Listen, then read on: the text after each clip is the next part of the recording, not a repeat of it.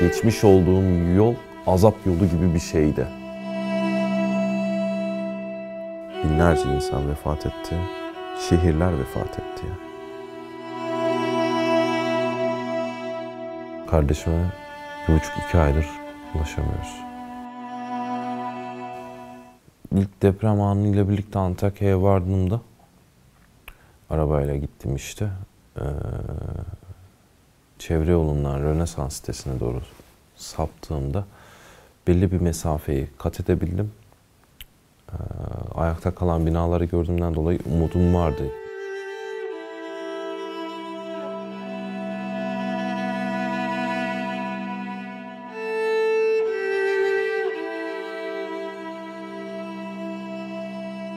Sağanak yağmur gitgide şiddetlendi. Bir fırtına vardı, bir kıyamet havası vardı, kaos havası vardı. Yaklaştıkça binanın olması gereken yerde olmadığını gördüm. Belki bir hayaldir diye koşmaya başladım. Daha da hızlı koşmaya başladım oraya doğru. Yaklaştıkça koskoca binanın yerinde var olmadığını fark ettim. Rönesans 12 katlı bir, bir büyük bir kare şeklinde siteydi. Tamamen yok olmuştu.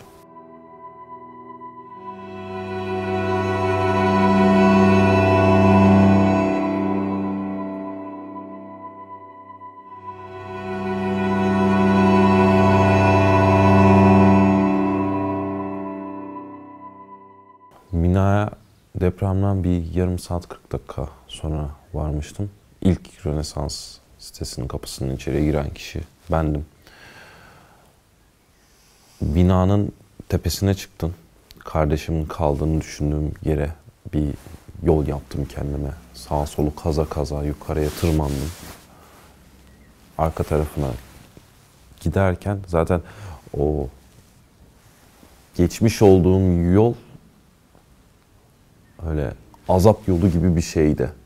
Sağda solda ölüler, parçalanmış cesetler, yaralılar. Aşağı indikten sonra gelen diğer yakınları gördüm. Herkes birbirine cevap arar bir şekilde bakıyordu. Ama hiç kimsede cevap yoktu. Yani kimse ağlayamıyordu. Ruh gibiydik. Akut ikinci gün geldi. Üçüncü gün AFAD geldi. Sabah akşamı da yabancı kurtarma ekipleri geldi. Madenciler geldi. Çıkartabildiklerini çıkarttılar. Sıcaklık detektörleriyle kontrol ediyorlardı. İnsanlar vardı. Yaşıyordu içeride. Ama oraya ulaşmak imkansız gibi bir şeydi. Dinleme geldi senin sesini duymak için bir işaret ver. Sesimi duyuyorsan bir daha yap. Geceleri eksi ikiye kadar gördük Antakya'da. Hayatta kalma moduna aldı bizi vücudumuz. Uykusuzluğa direncimiz yükselmişti. Tuvalete gitmiyorduk. Üstümüzde kıyafetler sırılsıklamdı. Binlerce insan var ve ısınmaya çalışıyor. Orta çağa geri dönmüş gibiydik. Isınabilmek için mobilyaları, eşyalarını alıyorduk. Cesetlerin üzerinden biz yakacak odun topladık.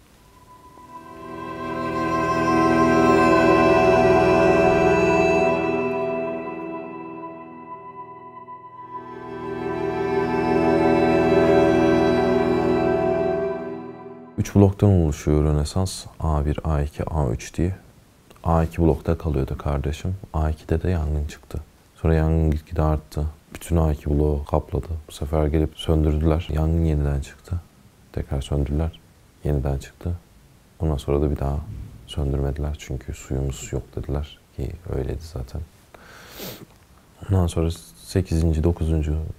güne kadar arama kurtarma devam etti. Ama kurtarılacak bir şey kalmadı deyip gittiler. İki buçuk hafta boyunca orada kaldık. Sabah akşam nöbet tuttuk orada.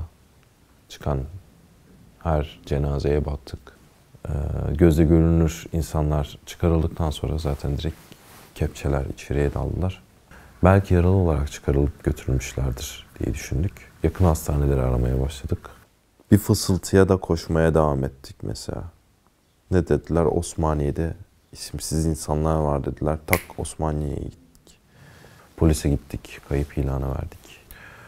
Ee, AFAD Genel Merkezi'ne gittim. Orada milletvekilleriyle durumumu bildirdim. Yardım istedim. Ama kardeşime bir buçuk iki aydır ulaşamıyoruz. Şu an son sayı 60 sanırım. 60 kişiye yakın kişi Rönesans'tan cenazesine ya da yakınına hiçbir şekilde ulaşamadı. Hala bekliyor. Bekliyoruz.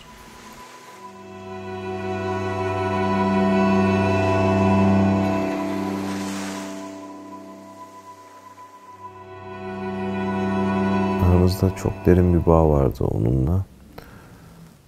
Beni çok seviyordu. Ben de onu çok seviyordum. Planları vardı. Bireyselleşmek istiyordu. Önce yurt dışı hayali vardı ama maddi imkansızlıklardan dolayı biraz yurt dışına gidemedi. Zorlasaydı belki giderdi. Onun pişmanlığı var üzerimizde. Ev aradılar. Sağlam, güvenilir, iyi bir ev olsun istedi. Bir defa yaşıyoruz dedi. 2-3 ay kaldı o evde. Kız arkadaşı da e, Defnese hastanesinde iş bulmuştu. Orada da işe girdi. Birlikte bir düzen oturtmaya başlamışlardı. Sonradan üçüncü olarak taşınan bir arkadaşları vardı. Zeyna. Zeyna da yeni işe başlayacaktı Antakya'da bir otelde aşçı olarak. Deneme sürecinde Mehmetlerin yanında kalmak istedi. Dördüncü günüydü. Dördüncü ya da beşinci günüydü onun da orada. Beşinci gününde Mina üstlerine yıkıldı.